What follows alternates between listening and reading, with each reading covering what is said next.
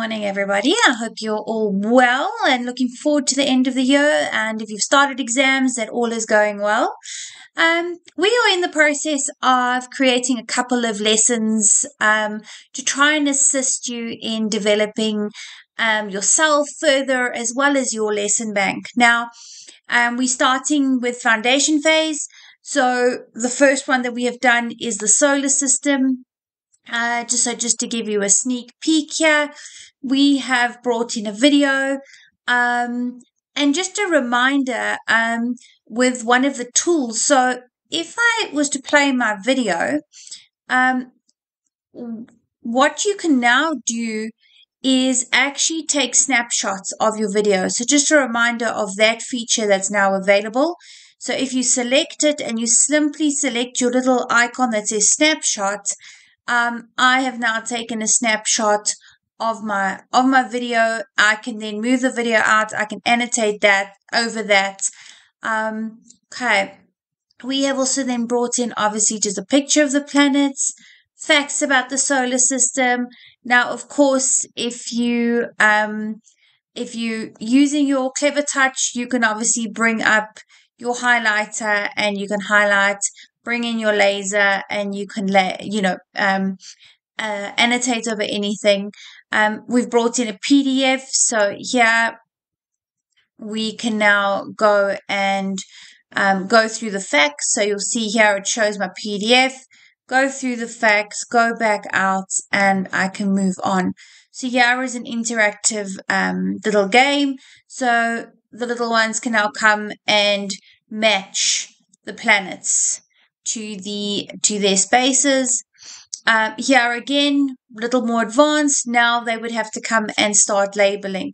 So simply just move the labels across. Again, so bringing in a code breaker, so you would get them. You either use the dice. Um, so just a reminder where we find our dice. So you would go into insert, you would go to content, I would go into my browse section, um, I would go to my maths and I could now bring in my dice if I wanted to. Um, if we if we wanted to do use dice to count, or you can bring in your counters. So if I go here, I can bring in counters. However you want to teach your young young kids to then start um, with arithmetic. Okay. Um, so we've brought that in. Then, of course, lastly, we've got story time. So we have brought in a um, EPUB that you could then read out or have the kids read out as well. So we are developing these lessons in the hope that these will help you. If you have some ideas or some themes that you would like, um, please just pop us an email and let us know or pop me a WhatsApp. Then, um, over and above this, the Clevertouch team are constantly working on offline content. So, if I just open a new page here, we have got some great new features, so or great new offline content or elements. um, they have gone and created um, some South African or African animals, as well as South African, Namibian, and Botswana currency. So if you are teaching how to add, um, if you're teaching money and how to add and subtract, we have now brought in those three additional um, uh, elements as well.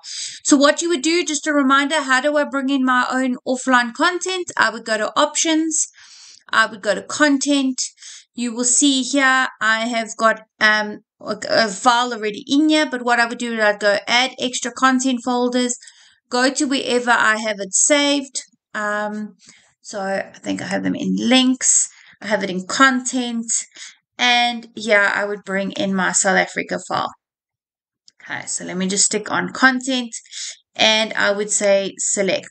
So now I have brought in my LYNX content.